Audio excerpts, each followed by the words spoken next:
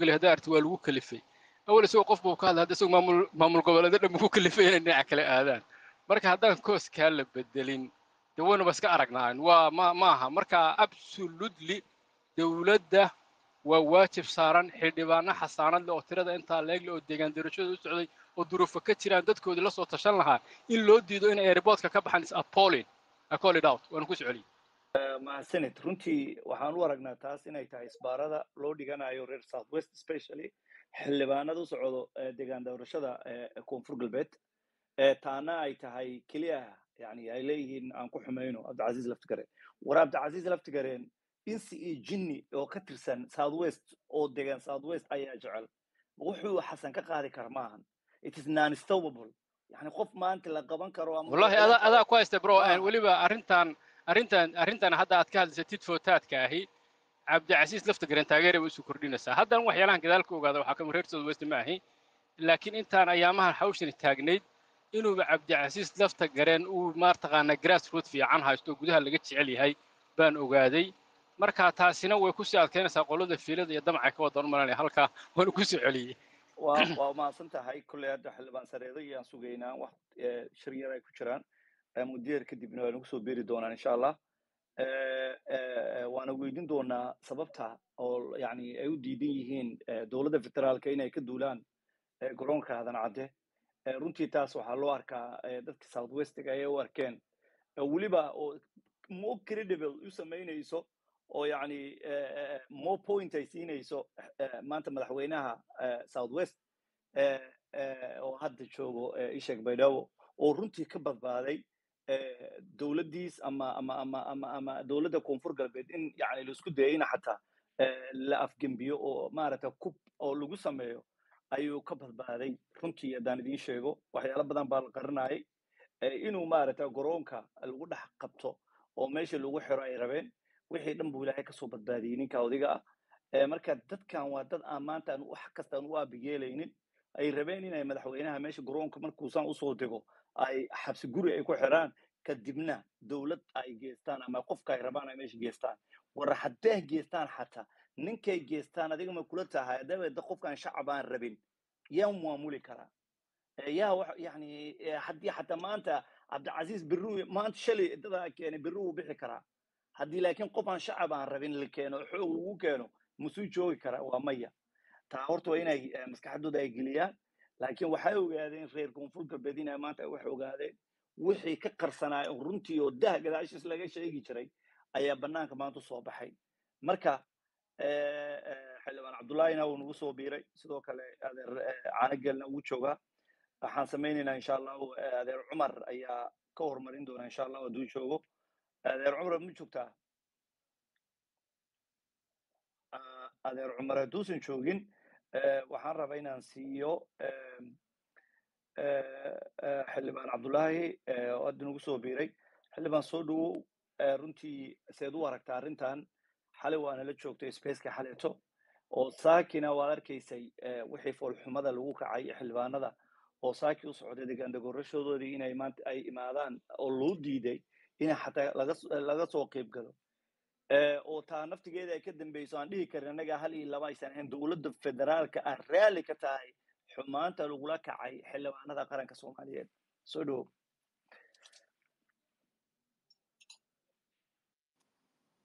waa waa mahadsanta brotherkeyga een,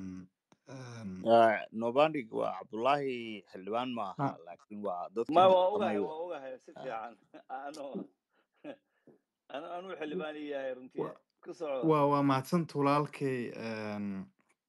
walaalkey ale waa mahadsantihiin labadiinaba iyo dhammaan asxaabta kaleeto. Eh, nio arrinta jirta waxaa waaye marba marka ka sii dambeysa waxay u eg tahay eh, in eh, villa soomaaliya ay yacni ay ay sii laba jibaareyso cunaqabateynta ay ku hayso koonfur galbeed taasna waxay waxay waxay sii baritaareysaa in eh, dadka reer koonfur galbeed ay ay ay isku sii tashtaan oo ay awood siiso iyo kalsooni iyo midnimo ayaka dhexdooda. Ah arrintan ah eh, in eh, diyaaradaha la iska hor istaago waxay ka mid tahay waxyaalaha abuuri kara kalsooni darro weyn dad badan oo hadda markii een, deen cafinta arrinteeda iyo arrinta een, maxaa la dhihi jiray hubka oo embargoga laga qaadayay dad badan baa su'aalo ka qabay oo su'aalaha ay ka qabeenna waxaa waaye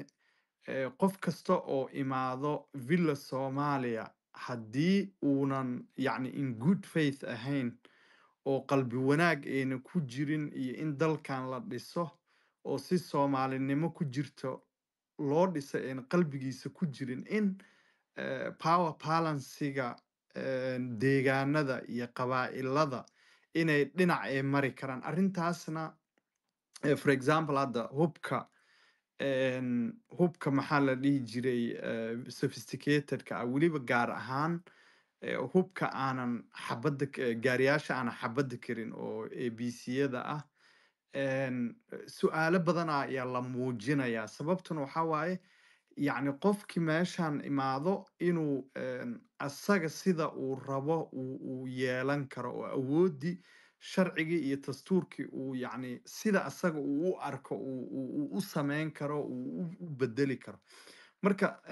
taas marka waxay waxay muujinaysaa eraboorka iyo iyo dhaqdhaqaaqa qofka muwaadinka ah qofka caadiga oo shacbiga ah een, dastuurka wuu ku qayaxayaa. Waana qodobada aasaasiga ah oo jabtarada ugu muhiimsan ee dastuurka ay ka mid tahay xorriyadda qofka dhaqdhaqaaqa eh, iyo xorriyatul qoolka een, a- qodobada ugu muhiimsan ay ay ka mid yihiin markii laga soo tago qodobada eh, siyaasadda eh, ka hadlayo markii laga soo tago. Haddii marka garoonkii dadka ka dhexeeya la hor istaagayo i think arrintaas signaal qaldan bay iyay bixinaysaa. Arrinta labaad oo kaleeto waxaa waaye arrinta xalay aan ka hadlaynay oo ah qof civil servant ah dowladda u shaqeeyo yacni meel muhiim agency muhiim ah joogo in uu asaga opinionkiisa uu publicly yacni cunsurinimo iyo yacni qabiil ahaan dad inuu si toosa uu u maago dowladdana ayna ka hadlaynin it means marka qof kasta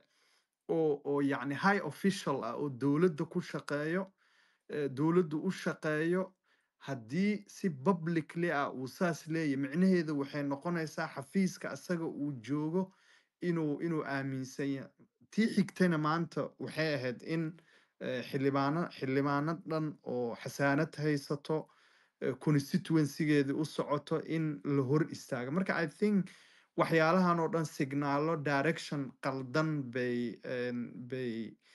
bay dirayaan oo ah eh, is-aamin darrada ka dhex jirto eh, dowladda iyo shacabka soomaaliyeed inuu sii xoogeysanayo waana muhiim eh, dowlad dhiska waxyaalaha muhiimka u ah waxaa waaye waa trustiga. Yacni trust between yacni the state and society-ga.